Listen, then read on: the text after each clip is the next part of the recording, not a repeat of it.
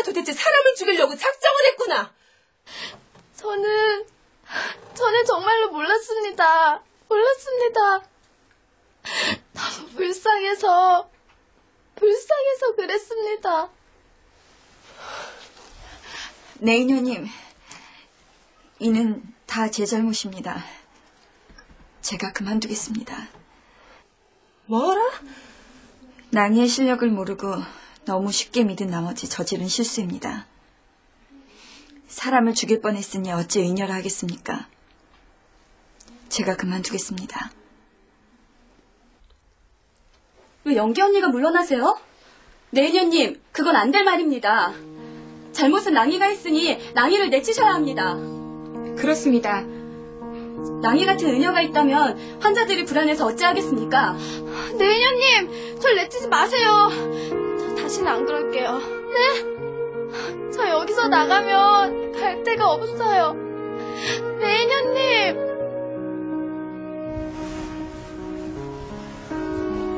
널 그냥 여기 두기에 네 실수가 너무나 크구나. 네 마음만 앞서 사람을 죽일 뻔했으니 앞으로도 또 그리하지 않으련 보장이 없지 않느냐. 내년님! 연기는 근신하고 낭이 너는 당장 짐을 싸거라. 네이네님 잠시 드릴 말씀이 있습니다.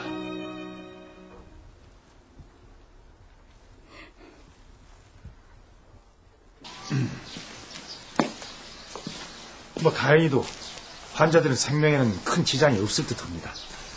그렇습니까? 천만 다행입니다. 송구합니다. 낭이의 잘못이 너무 큽니다. 해서 낭이를 내보낼까 합니다. 예, 들었습니다. 저 네이네님, 예, 말씀하시지요. 제 생각에는 나이에게 한 번 더 기회를 주는 것이 어떨까 싶습니다만 예? 환자들에 대한 동정심으로 그리한 것이니 그건 역시 따뜻한 마음의 발로 아니겠습니까?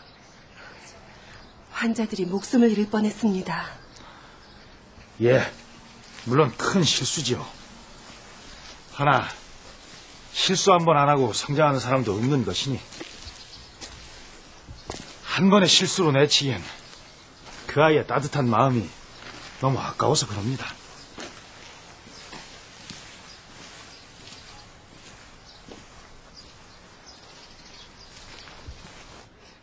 이제는 어떡해? 집에 가고 싶어. 선생님, 나 집으로 데려가 주세요.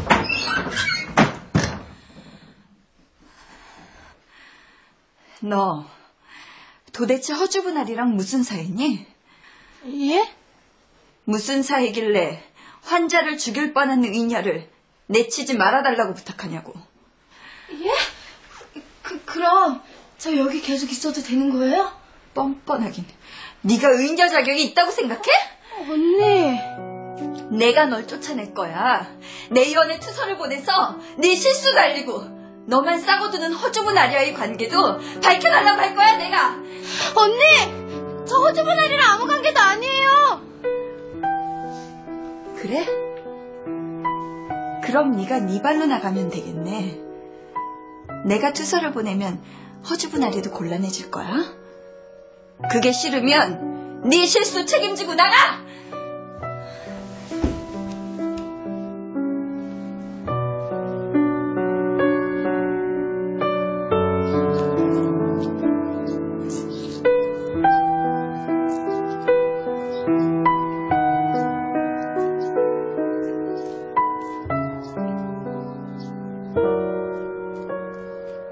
어딜 가는 게냐?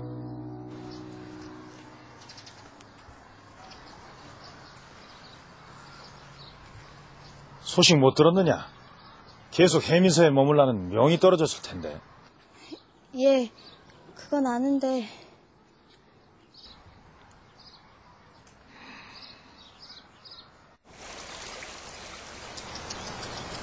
아니 내가 곤란해질까봐 네 발로 스스로 나가기로 했단 말이냐? 그것도 그렇고, 전 아무래도 은혜 자격이 없는 것 같아요. 왜 그렇게 생각하느냐? 생각해보면, 환자들이 잘한다, 잘한다 해주고, 그렇게 예쁨 받는 게 좋아서, 자꾸 환자들 환심을 사려 했던 것 같아요. 그러다 그런 실수를 하게 된 거고요. 넌 네 스스로에게 그렇게 확신이 없느냐? 난 널 그리 보지 않는다. 넌 참으로 마음씨가 따뜻한 사람이야. 아프고 불쌍한 사람을 보면 도저히 마음이 아파 견딜 수가 없는 사람이지. 뭐라도 해주고 싶고 도와주고 싶고. 아니 그러냐? 그렇긴 하지만 그런 마음 때문에 자꾸 실수를 하면 어떡해요? 환자 중에 누가 죽기라도 하면요. 그렇게 되진 않을 것이다. 항상 네 마음을 먼저 살펴보거라. 내 마음의 아픔을 달래기 위해 이 일을 하는 것인지, 진정 상대를 위해 이 일을 하는 것인지를 늘 묻고 또 묻거라. 어려워요. 무슨 말씀인지 잘 모르겠어요. 마음만 앞서선 안 되지. 환자들의 사정을 잘 살피고 해야 할 일과 하지 말아야 할 일을 결정하거라. 항상 상대의 마음을 먼저 보고 행동하거라. 너라면 할 수 있어. 난 널 믿는다. 너도 너 자신을 믿거라. 나리, 자, 이제 얼른 짐 풀고 일하러 가야지. 눈물을 흘리는 건 명랑하게 어울리질 않아. 예, 나리. 저 열심히 할게요.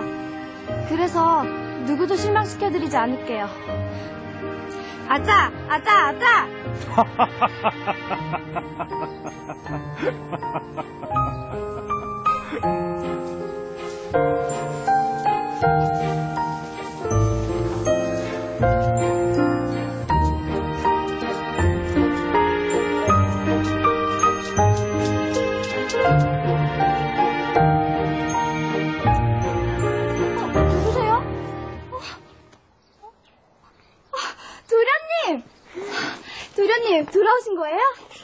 그동안 잘 있었어? 네. 어, 도련님.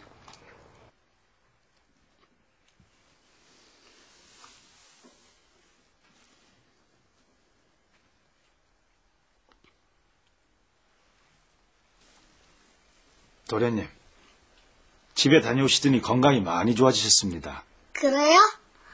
예. 이제부터 약도 잘 드시고 짐도 잘 맞으시면 더 좋아지실 거예요. 예.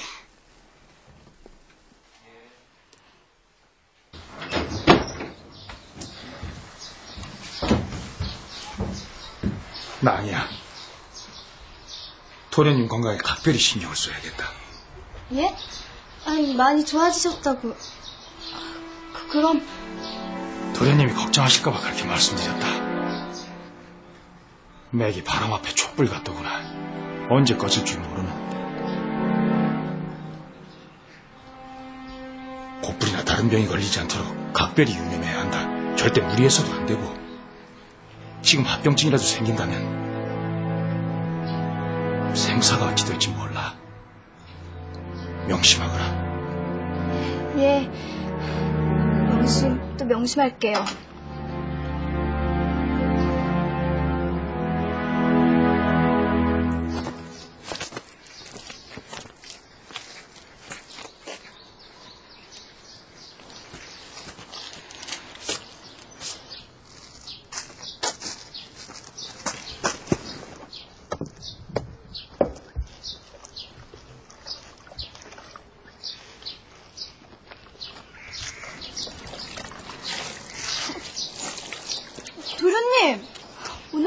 찬데 왜 나오셨어요? 답답해서.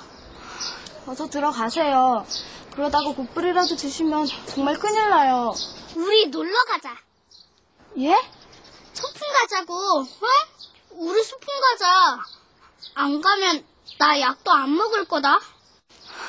도련님, 방금 말씀드렸죠. 곧불 드시면 큰일 난다고요.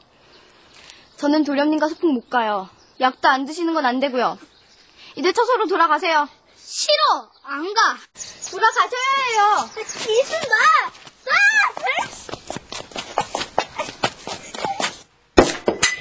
안 먹어. 내가 분명히 말했지. 소풍 안 가주면 약 안 먹는다고. 드셔야 해요. 가져올게요. 안 먹어! 나 그딴 약 안 먹어! 왜 안 먹어? 약이라도 먹어야 병이 나을 거 아니야! 먹으면 안 죽어? 안 죽냐고! 나 너랑 허주부랑 하는 얘기 다 들었어. 바람 앞에 촛불이라며 곧 죽을 거라며! 아니에요. 그렇지 않아요. 내 몸은 내가 잘 알아. 나는 얼마 살지 못해. 누나도 이러다가 죽었다고! 도련님, 모두가 도련님을 걱정하고 있어요. 제발 희망을 가지세요. 모두가 날 걱정한다고? 걱정해주는 게 뭔데? 소품도 안 가지고 이런 골방에 처박아 놓는 거? 그리고 약이나 먹이는 거? 그게 걱정하는 거야? 도련님, 지금 소풍 안 갔다고 이러시는 거예요? 소풍은 병이 나면 얼마든지 갈 수 있어요. 아무것도 모르면서 아는 척하지 마. 네가 뭘 알아? 나는 태어나는 그 순간부터 집 밖으로 한 걸음도 나가지 못했어.